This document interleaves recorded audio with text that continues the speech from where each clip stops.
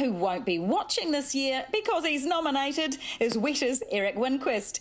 He's one of four visual effects supervisors honoured for their breakthrough work on Dawn of the Planet of the Apes.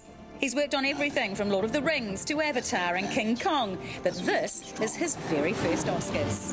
When the time comes, the nerves will kick in a little bit, but right now it's, it's certainly pure excitement. You know? I'm one of four that gets to represent about 800 of the most talented people I know back in Wellington, so um, huge kind of weight of, of responsibility there, but uh, all, all the more exciting for it. Winquist and his team's already scored big with Apes, winning the top award voted for by their peers at the Visual Effects Society here in LA. Gigi, you have to go. Go where? How the audiences react to his work, though, clearly as important, if not more so, than these accolades.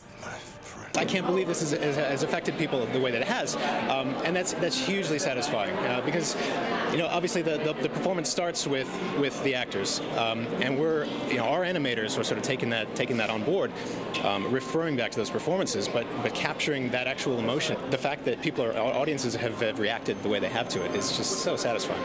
Christopher Nolan's Interstellar will be Weta's toughest competition.